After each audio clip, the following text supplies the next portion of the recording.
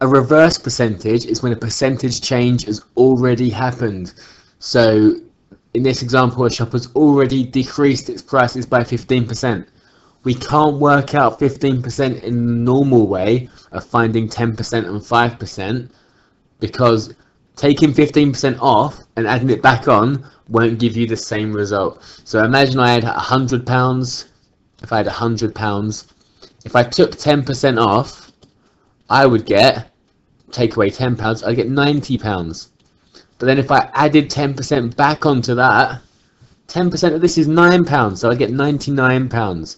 So adding 10% on and taking 10% off, they're not the same thing. So what we've got to do is we've got to recognise what percent we've got. So if the price had been decreased by 15%, that means I've got 100% minus 15%. So what I've actually got is 85%.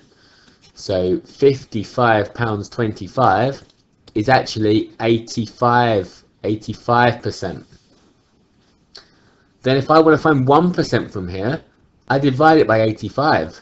So if I want to find 1%, I take this number and I divide it by 85. So if I do that in the calculator, £55.25 divide by 85, press the SD button, I get 0 0.65, £0.65p. And to find the original price, I want that's 100%. I times it by 100.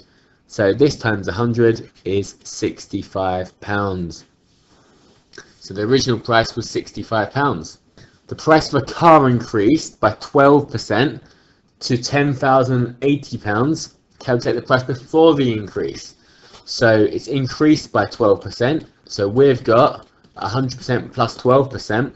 We've got 112%. So this amount here, 10080, is 112%. So we find 1% by dividing by 112. So I take this number in the calculator, divide it by 112, and that gives me 90 pounds. Then if I want to find 100%, I times by 100. So 90 times 100 is 9,000 pounds. So that's the answer. Okay, pause the video and have a go at this one. So shops decrease prices by 12.5%.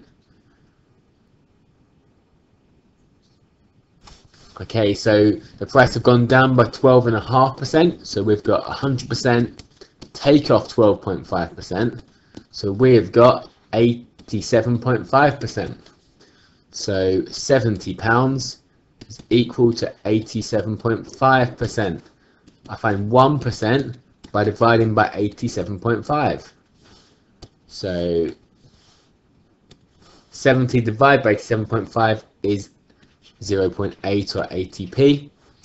And then if I times that by 100, that's going to give me 80 pounds. So the original price was 80 pounds.